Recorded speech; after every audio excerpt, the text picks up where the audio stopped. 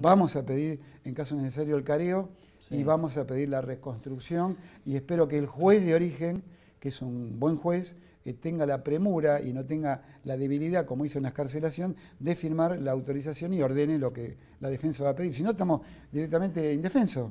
No podemos ejercer el derecho de defensa en juicio.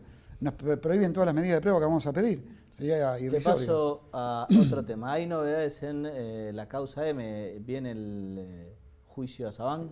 Está bien informado. ¿eh? Tenés buenos, Para- tenés buenos agentes. Por, al- por algo estoy acá. Sí, el 16 de mayo arranca, yo digo, bueno, es irónico lo que voy a decir. Eh, tenemos fecha de juicio, arranca el 16. No hay 30, tenemos todos los actores del proceso, pero bueno, ¿Va a vos- ser, eh, perdón, ¿va a ser presencial o...? tiene que ser presencial, Ah, obviamente, no me pueden afectar el derecho de defensa en juicio. La igualdad de armas, yo no puedo permitir que los testigos declaren vía Zoom.